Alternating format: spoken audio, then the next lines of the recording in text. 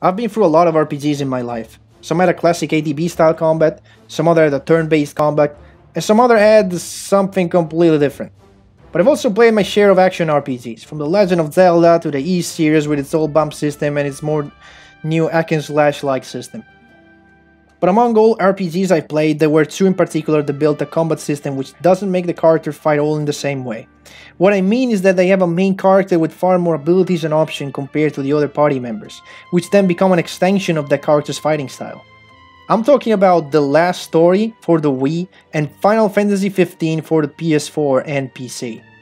It's interesting that these two games we're talking about here because, for those who don't know, The Last Story comes from the mind of Hironobu Sakaguchi, the creator of the Final Fantasy franchise. But I'm getting off topic. These two games both have a main character on which the battle system is built upon. That would be Zael for The Last Story and Noctis for Final Fantasy XV. While their combat styles are completely different, with Zael playing mostly a tank role and Noctis playing a glass cannon, they have some similar ideas behind. So let's discuss how each game builds upon this protagonist-centered combat system in its own way, and why this is a good thing for plot progression as well. Obviously, there will be spoilers from both games, so you've been warned.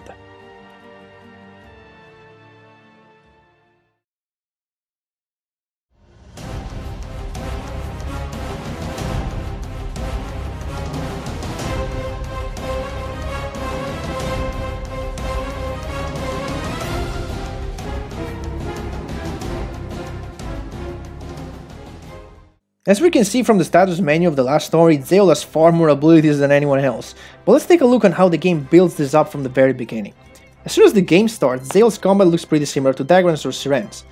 The only additional thing he can do is shooting with his crossbow, which gives him some long-range capabilities.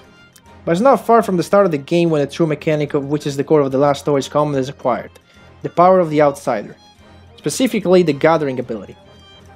Gathering is the base of all other abilities of Zael, Gathering is activated by pressing a button. On activation, every enemy who can see Zael will target him and will move slower for a certain period of time.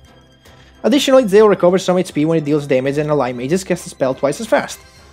You see, if a mage wants to cast a spell, they have to charge it up for a certain amount of time, and if they get hit during the charge, they have to start over. This way you can see why Gathering really helps in the casting process. Not only it makes casting faster, but mages won't be bothered by enemies because they're all focused on Zael. Casting spells ties into another ability that Zael gets pretty early on, Gale. With Gale, Zael can jump to a specific point of the field, deal little AoE magic damage, but most importantly diffuse magic circles on the landing spot. Magic circles are left on the ground after a spell is cast and they can imbue the weapon of who steps in them with that element, allowing for greater damage and possibly the chance to hit elemental weaknesses. Enemies who step in the circle also take damage over time of that element, but diffusing circles, while it makes them disappear, inflicts the AoE elemental damage on the enemies around it, and most importantly a debuff such as Silence or Slip. Heal and Light Circles instead buff the party by healing HP and removing debuffs from the former, and granting a defensive barrier for the latter. Zael also gets Vertical Slice later on, which is a wall jump that fuses circles farther and harder and he has pros so pros and cons, but that's for another time to discuss. Another ability that Zael gets tied to Gathering is Slash. This allows Zael to hide behind an obstacle and slash enemies for increased damage. If Gathering was activated before hiding, often enemies would be confused for a second, which again allows Zael to inflict even more damage with Slash. Moving on in the game, Zael obtains Gathering Burst. When Gathering is active and Zael is hit 3 times, he will charge up a Burst up. After 3 more hits, he will charge up Burst Max. Releasing Gathering at this point shoots some magic beam toward all enemies, which deal magic damage and slows them down. The last ability that Zael gets is Guard Counter, which allows him to parry an enemy attack and counterattack back for massive damage. It also allows him to bounce spell back at enemies. While not tied directly to Gathering, aggroing more enemies just means more chances to guard counter.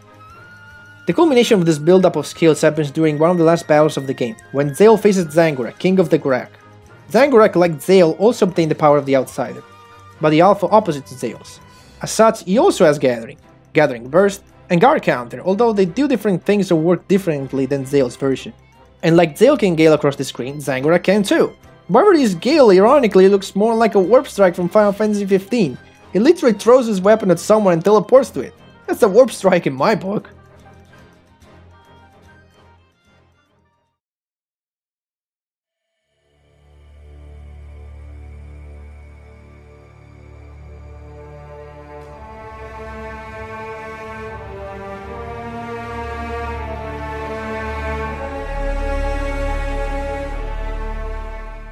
Now that we talked about how Zael builds up his strength, let's see how this affects the plot. In the last story, there's an interesting thing that is done straight from the start. As you begin a new game, you don't play as the protagonist Zael, but as Dagran. In the first couple of minutes as Dagran, the game teaches you the basic of combat. Then you switch to Zael, which apart from the crossbow fights the same way as Dagran. But as soon as Zael gets the power of the outsider, he becomes different and way better than Dagran. This is important for the direction of the storytelling.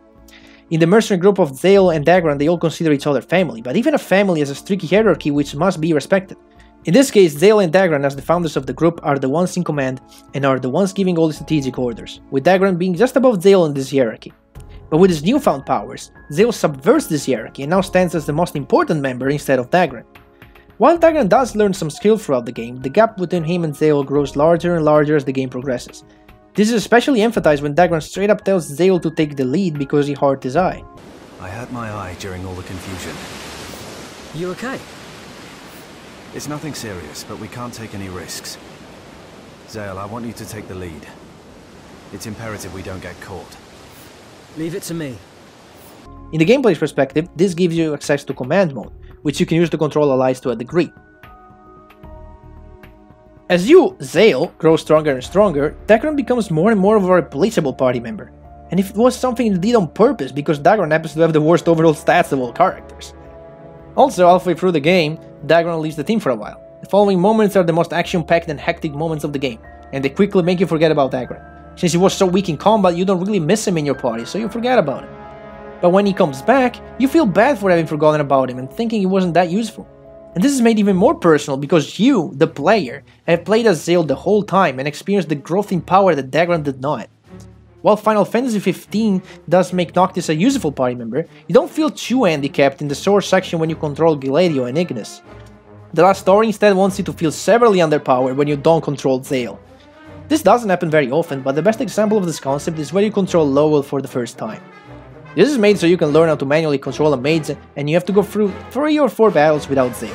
I can bet anyone on their first playthrough accidentally tried to use Gathering while using Lowell, just because they were so used to control Zael. I know I did. That makes you miss Zael in battle even more, and makes you look forward to the moment where you're back in his control. Mistwalker really wanted the player to relate to Zael and feel like they were Zael. This is also the reason why Zael doesn't seem to have the sense of smell. After all, the player can see what happens in the game, can hear the sounds of the game, but can't smell what the other characters can. Ugh, it stinks! The hell is that smell? Huh? What's up with you two? Zael, can't you smell anything? That's about it for the last story. Let's see what the other game has to offer.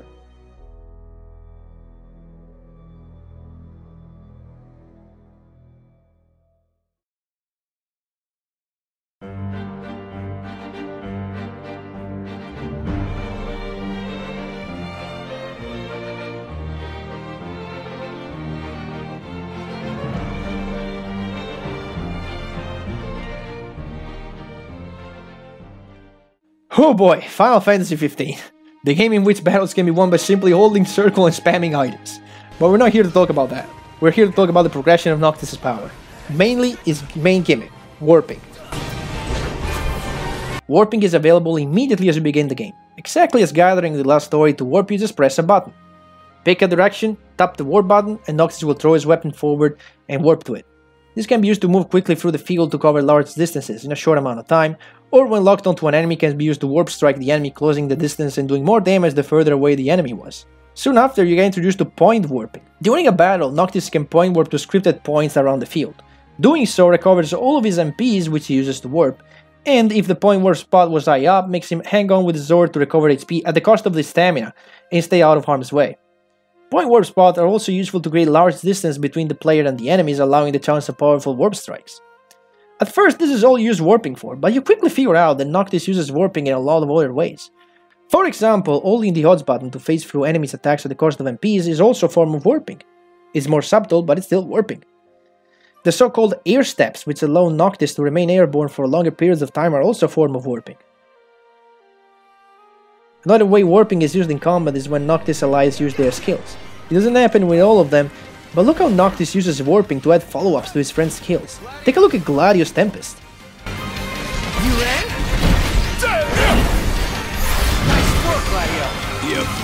Or at Prompto's Piercer. Prompto, you're up. Oh, hi there, opening. Other skills have warping as a main component instead. Look at two of my favorite skills in the game, Gladio's Tornado. Showtime! Over here! Nailed it! Thanks.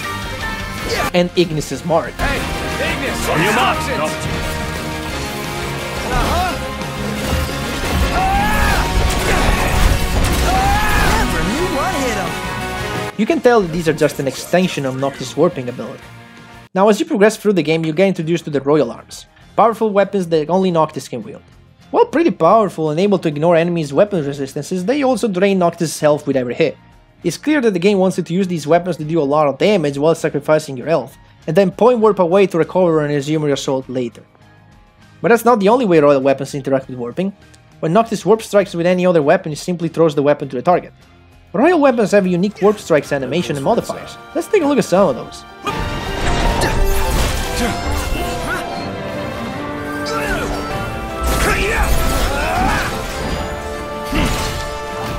Prompto! Stop bitching! Start killing! We're outnumbered. I propose we take them out one by one. Fiend victory. Going all out. Just don't get too carried away. Sure want to talk.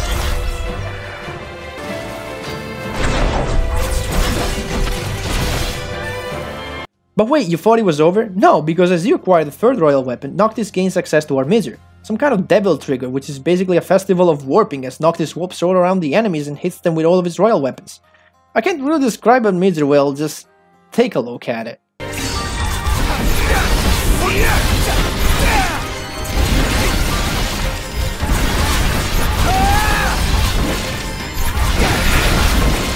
Warp striking during Armiger also has unique animation. Big deal. Nothing to it. This is all the progression Noctis gets in terms of his powers, and exactly like Zael it culminates in the first phase of the final boss fight where Ardyn fights the same way as he does. He can warp, he can phase through attacks and cast spells just as Noctis can. He later even conjures his own version of the Armiger as he battles Noctis above the skies of Insomnia. And I just noticed something. Noctis' warp color is blue and Ardyn's is red. Zael's gathering color is blue and Zangurak is red. Coincidence? I think not.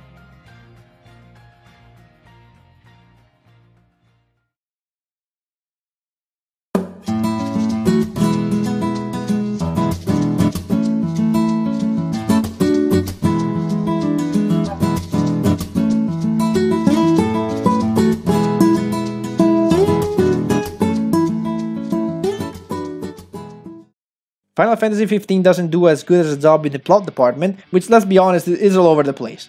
It emphasizes more on the relation between Noctis and the three bros, Prompto, Gladio, and Ignis, and the way Noctis himself is depicted. While the last story is set in a medieval world, Final Fantasy XV is set in a modern world.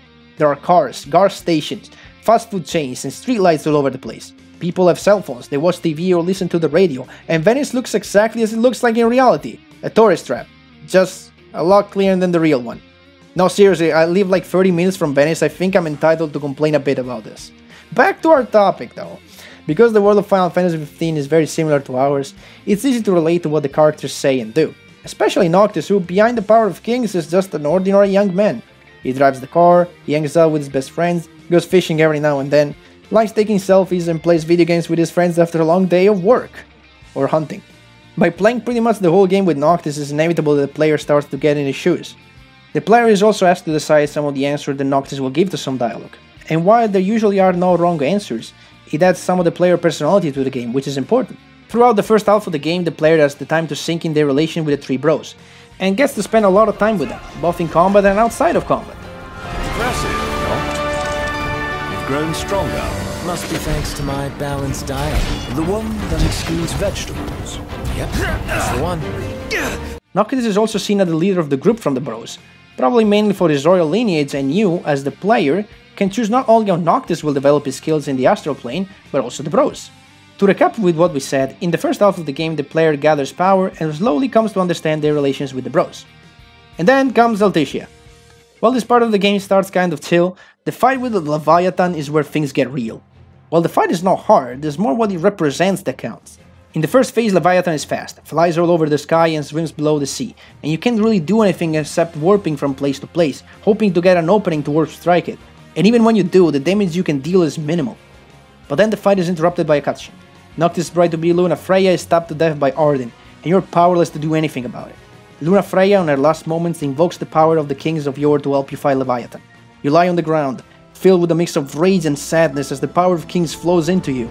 With newfound strength, you rise into the sky and do this.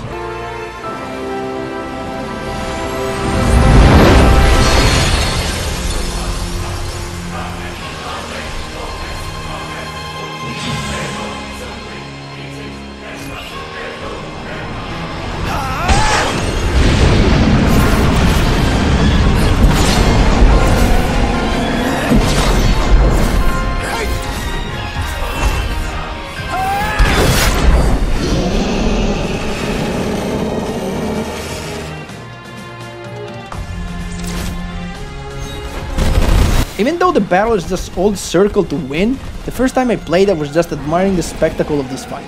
This giant sea snake, almost impossible to hit even just a minute ago, now doesn't stand a chance against the full power of the King of Kings.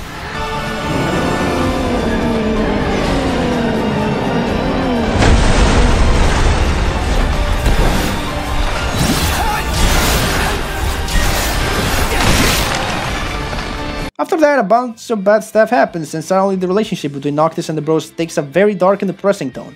It's the opposite of the Leviathan fight. A moment ago it was all nice and good, and the day after everything looks bad. But you keep on going, because after all, that's not a reason to give up on your task.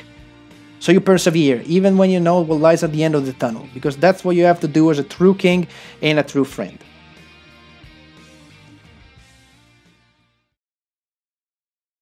In conclusion, combat systems which are focused on the abilities of the protagonist can create a very deep level of engagement with the player as they grow in power, and by exploring the evolution of the relationship between the protagonist and the other party members during this growth of power.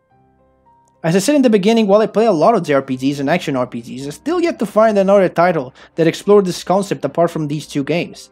If you know of any other games with a protagonist-centered combat system where other party members work as an extension of it, feel free to let me know in the comments, and as always, See you all in the next video.